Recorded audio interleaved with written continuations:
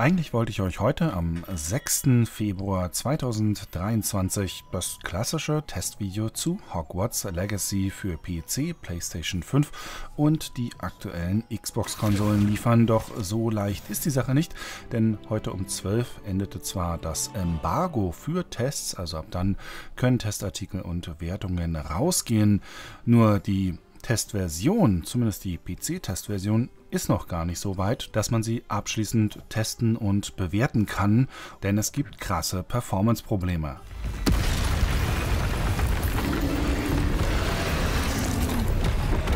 Eigentlich hätte am Wochenende noch ein Patch rauskommen sollen, der, so war zumindest das Versprechen, einige dieser Probleme beheben würde. Allerdings kam das Update bislang nicht. Der Patch, der die Raytracing-Performance verbessern soll, die ist nämlich noch schlimmer, der soll allerdings erst zum Launch kommen. Ob damit nun der Launchtermin am 10. Februar gemeint ist oder der Early Access Launchtermin, man kann ja das Spiel für einen Aufpreis von 10 Euro schon ab dem 7. Februar spielen, nämlich auf den Konsolen ab Mitternacht und am PC ab 19 Uhr bzw. ab 19 Uhr runterladen. Das ist auch nicht so ganz klar. Die Idee von Early Access war eigentlich mal anders, nämlich dass man das Spiel ein bisschen preiswerter bekommt, in dem Bewusstsein, dass es noch nicht fertig ist.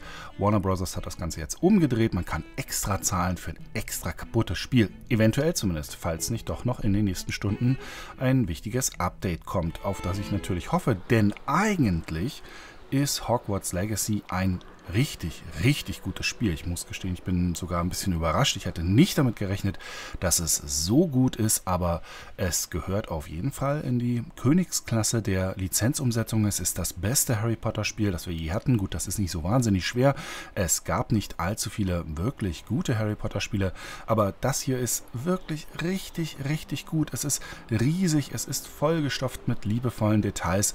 Die Spielmechaniken funktionieren sehr gut. Es sieht toll aus aus und es läuft meist auch richtig flüssig. Allerdings nicht immer. Und zwar so oft nicht, dass das Spiel, wenn es tatsächlich morgen so auf Steam rauskommt, richtig Probleme bekommen wird. Denn obwohl ich mit meinem Test-PC hier mit einem Ryzen 9 12-Kern-Prozessor, 32 GB RAM und einer Nvidia RTX 3080 die Systemvoraussetzungen für 60 FPS bei WQHD mit vollen, also mit Ultra-Details erfülle, sogar übererfülle, empfohlen wird da eine 2080, habe ich regelmäßig mit extremen Bildrateneinbrüchen zu kämpfen. Und das, obwohl das Spiel am Anfang zum Spielstart auch immer wieder die Shader kompiliert Nichtsdestotrotz, gerade wenn ich mich durch Hogwarts, und das ist nun mal das Highlight des Spiels, dazu gleich noch ein bisschen mehr, durch Hogwarts bewege, bricht die Framerate so krass ein, dass es einfach doch den Spielspaß deutlich mindert. Zumal diese Framerateneinbrüche auch gerade in Zwischensequenzen vorkommen, was natürlich doppelt ärgerlich ist, denn die kann man ja nicht einfach wiederholen. Du gehörst nach Slytherin.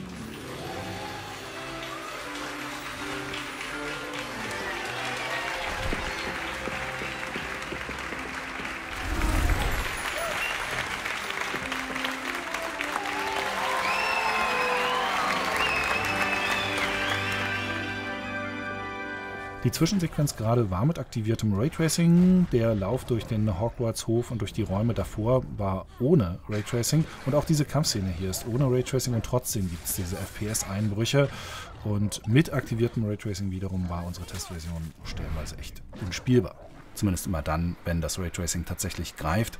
Denn in der Open World, im Umland von Hogwarts, nutzt das Spiel die Raytracing-Effekte sowieso nicht allzu sehr. Aber in Hogwarts selbst gibt es viele Spiegelungen, die auch sehr schön aussehen, teilweise aber auch noch kaputt sind. Also da bliedet Licht an Stellen durch, wo es gar nicht sollte. Da taucht also Licht auf, wo es gar nicht hingehört.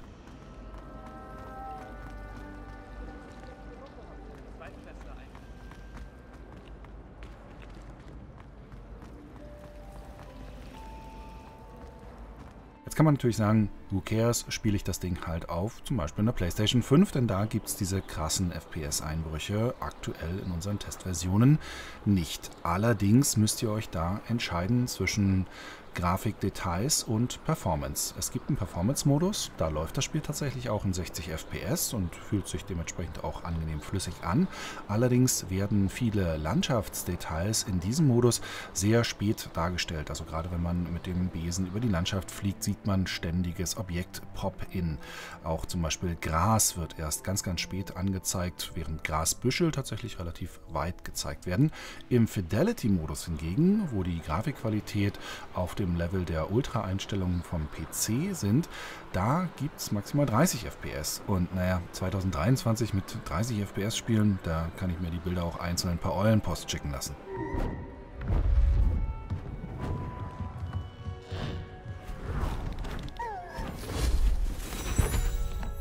Dass diese extremen Framerateneinbrüche auf dem PC tatsächlich ein Optimierungsproblem sein müssen, kann man übrigens ganz gut daran erkennen, dass man die identischen Szenen, wenn man ein bisschen abwartet oder einfach mal Glück hat, auch ganz normal mit 60 FPS spielen kann. Also es ist möglich, dass die identische Szene mit flüssigen 60 FPS bei WQHD mit meinem System läuft. Die Hardware ist hier also nicht übers Limit hinaus strapaziert. Und deshalb habe ich auch Hoffnung, dass diese Fehler behoben werden können. Ob sie tatsächlich bis zum Release, also entweder morgen oder halt am Freitag behoben werden, das ist nochmal eine andere Frage.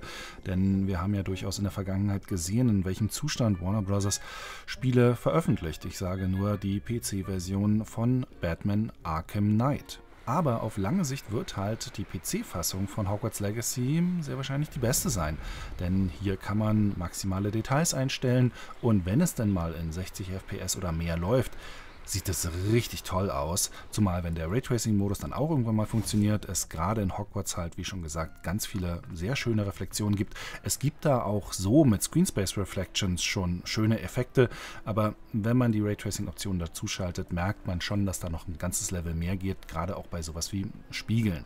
Und Hogwarts selbst ist nun mal einfach ein ganz wichtiger Bestandteil des Spiels, weil es so groß ist, weil es so viele Geheimnisse gibt, weil man so viel Zeit im Schloss verbringen kann, weil man so viele Sachen beobachten kann und weil das einfach für Potter-Fans ein Traum ist, wie diese Location hier im Spiel umgesetzt ist. Muss man ganz klar mal sagen. Es ist wirklich Wahnsinn. Es hat mich weggehauen, was es da alles zu entdecken, zu beobachten, zu erforschen gibt und in welchem Detailgrad. Hogwarts selbst ist also so eine Art Open World in der Open World. Und naja, da nervt es natürlich schon, wenn das Ganze so läuft.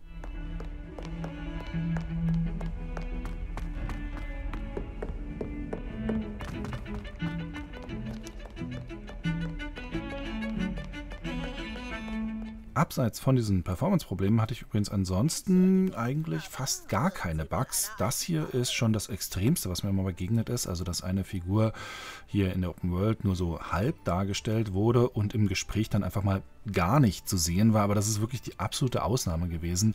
In der ganzen Spielzeit von über 40 Stunden ist mir das Spiel zweimal abgestürzt, was ich durchaus noch in Ordnung finde. Also da würde ich jetzt nicht gleich ein Fass aufmachen, aber brauche ich auch nicht. Das Fass ist ja schon offen und ob Warner da einen Deckel drauf kriegt, werden wir in den nächsten Stunden oder Tagen sehen. Oh, und eine Sache noch. Aufgrund der unglücklichen Verletzung im letzten Finale wurde die Quidditch-Saison für dieses Jahr abgesagt. Ich warte jetzt mit dem richtigen Testvideo auf jeden Fall erstmal den Early Access Start, also morgen 19 Uhr auf Steam ab und schaue mir dann nochmal die Performance an. Vielleicht kommt der Patch ja sogar schon vorher und dann wird es auch mit dem Testvideo schneller gehen, aber rechnet mal eher so am Mittwoch mit dem finalen Testvideo. Also ich drücke zumindest die Daumen, dass das dann so weit funktioniert, aber spätestens dann geht es auch einfach raus, weil ab dann kann man es halt auch kaufen und spielen, wenn man es nicht vorbestellt. Von daher ist es ab dann Fair Game. Abschließend kann ich zu dieser ganzen Sache aktuell eigentlich nur noch sagen, dass ich es nicht mehr verstehe. Also es ist wirklich aktuell so albern, wie viele große Produktionen in einem schlechten technischen Zustand rauskommen. Also besonders auf dem PC. Da werden hunderte Millionen jahrelang in diese Mega-Blockbuster reingestopft und dann auf den letzten fünf Metern versauen sie es.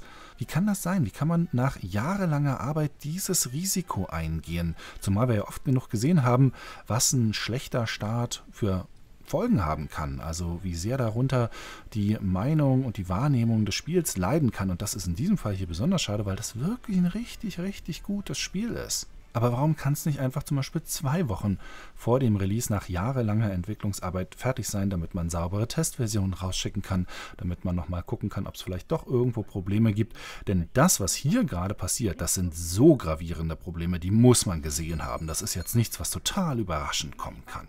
Zumal Hogwarts Legacy ja ein reines Singleplayer-Spiel ist. Bei einem Multiplayer-Titel würde ich es nochmal ein bisschen anders sehen. Da kann tatsächlich durch Live-Bedingungen auch immer sehr viel schiefgehen. Aber das hier passiert gerade absolut ohne Not. Und ja, es macht mich als Kunden fuchsteufelswild und das enttäuscht mich, aber es tut mir andererseits auch für den absoluten Großteil der Entwickler total leid, die da wirklich wahnsinnig viel Liebe reingesteckt haben. Das sieht man dem Spiel an allen Ecken an und dann vielleicht durch schlechtes Projektmanagement auf den letzten Metern halt einfach mal gegen die Wand fahren. Das kann doch jetzt nicht der neue AAA-Standard sein. Naja, aber bevor ich jetzt zu emotional werde, machen wir jetzt hier erstmal Schluss an der Stelle. Ich warte ab, was da eventuell in Sachen Patch noch kommt. Schau mir ansonsten die Early Access Release Version morgen Abend dann wie gesagt an. Und dann gibt es in Kürze auch das richtige Testvideo mit mehr Details zum Spiel. Vielen Dank fürs Zuschauen und bis zum nächsten Mal. Euer Fritz. Hm, seltsam. Hat mich gefreut.